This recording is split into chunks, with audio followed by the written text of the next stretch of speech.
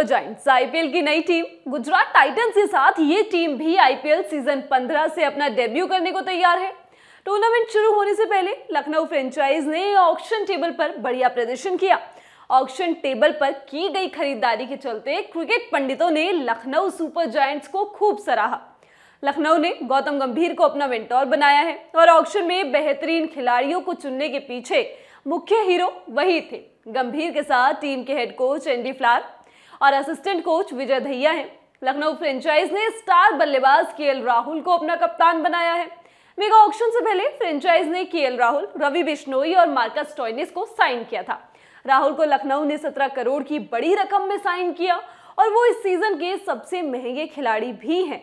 IPL 2022 के mega auction में लखनऊ ने तेज गेंदबाज आवेश खान पर सबसे ज़्यादा 10 करोड़ रुपए खर्च किए। आवेश पिछले सीज़न दिल्ली कैपिटल्स का हिस्सा थे। उन्होंने आईपीएल 2021 में दिल्ली के लिए 24 विकेट झटके थे। लखनऊ ने जेसन होल्डर पर 8.75 करोड़ और कुणाल पांड्या पर 8.25 खर्च कर दिए। जबकि क्विंटन डिकॉक के रूप में टीम ने एक विस्फोटक विकेटकीपर बल्लेबाज भी साइन किया। ये तो हो गई लखनऊ के मेगा ऑक्शन की बात। अब हम आपको बताएँगे कि लखनऊ सुपर जायंट्स ने जो टीम चुनी है, वो कितनी मज़बूत है? टीम की कमज़ोरी क्या है? कौन से खिलाड़ी पर सबकी निगाहें होंगी? और डेब्यू सीज़न में इनका प्रदर्शन कैसा हो सकता है? लेकिन उससे पहले बात कर लेते हैं गेमजी ऐप की। गेमजी ऐप का लिंक हमने आपको डिस्क्रिप्शन बॉक्स में दे दिया है। उस पर क्लिक कीजिए, आप डाउनलोड कीजिए और कॉन्टेस्ट में पार्टिसिपेट कीजिए। गेमजी बहुत काम का और कमाल का ऐप है। और हर रोज पाँच करोड़ जीतने का मौका है। साथ ही अगर आप फ़र्स्ट टाइम डिपॉजिट करते हैं तो आपको सौ परसेंट का बोनस भी मिलेगा। और इतना ही नहीं, आप गेम के सेकेंड पार्ट में भी पार्टिसिपेट कर सकते हैं। लखनऊ जॉइंट्स के फुल स्क्वाड की बात करते हैं। बल्लेबाज Manish Pandey, Evin Lewis, Manan Vohra. Allrounder Marcus Stoinis Jason Holder, Kyle Mayers, Deepak Hooda Kunal Pandya, Karan Sharma, Krishnappa Gowtham, Ayush Badoni. Wicket keeper K Rahul, Quinton de Kock. गेंदबाज Ravi Bishnoi, Avesh Khan, Ankit Rajput, Shahbaz Nadeem, Mayank Yadav, Mohsin Khan Dushmantha Chameera. England के pacer Mark Wood चोट की वजह से पूरे season नहीं खेल पाएँगे। रिपोर्ट्स हैं कि उनकी जगह जिम्बाब्वे के ब्लेसिंग मुजरबानी टीम से जुड़ेंगे। मजबूती, लखनऊ सुपर जायंट्स की टीम काफ़ी बैलेंस नज़र आती है।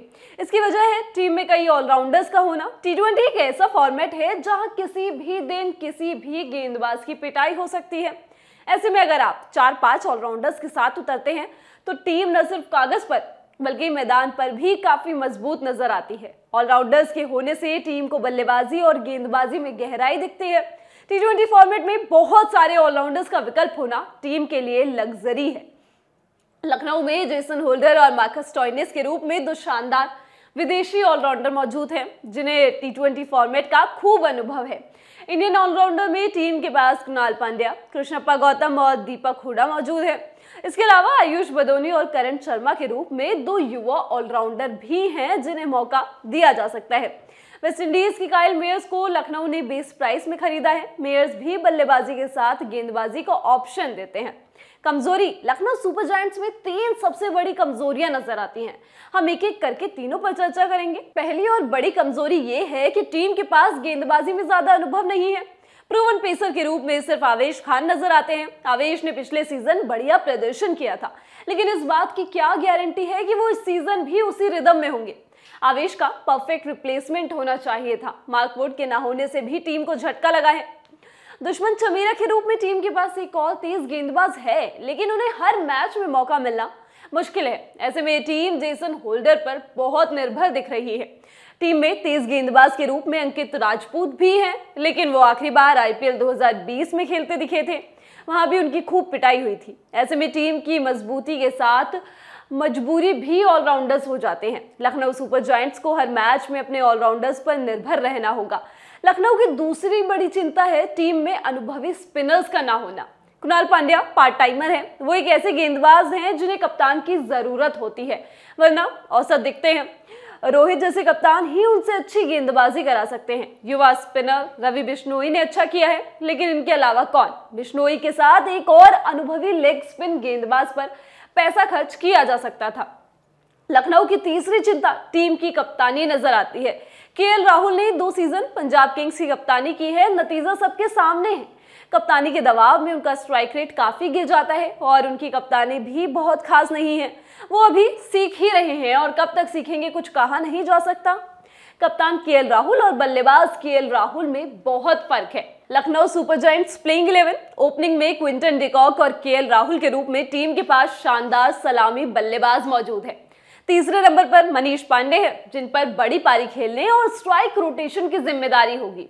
चौथे नंबर पर मार्कस स्टोइनिस खेल सकते हैं। वैसे ये इस बात पर भी निर्भर करेगा कि टीम मैनेजमेंट स्टोइनिस को फिनिशर की भूमिका देगा या फिर उन्हें ऊपर भेजा जाएगा।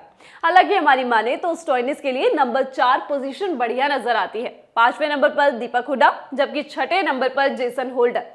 सातवें नंबर पर कुणाल पांड्या के रूप में एक और ऑलराउंडर, जबकि आठवें नंबर पर रवि बिश्नोई खेलेंगे। नौवें नंबर पर आवेश खान और दसवें नंबर पर अंकित राजपूत। तेज गेंदबाज दुश्मन चमीरा ग्यारहवें खिलाड़ी हो सकते हैं। तो ये था लखनऊ का टीम प्रिव्यू। और आपके लिए अब ज़रूरी बात यह है कि आईपीएल जल्द ही शुरू होने वाला है और ललन टॉप स्पोर्ट्स की कवरेज भी। आईपीएल में आपको वहाँ मैच से पहले और बाद का पूरा हाल मिलेगा तो हमारे साथ जुड़ना ना भूलें। तो इस वीडियो में बस इतना ही। इस वीडियो के लिए स्क्रिप्टिंग की है अविनाश ने। मैं हूँ गरिमा। स्पोर्ट्स से जुड़ी खबरों के लिए आप देखते रहिए ललन टॉप स्पोर्ट्स। शुक्रिया।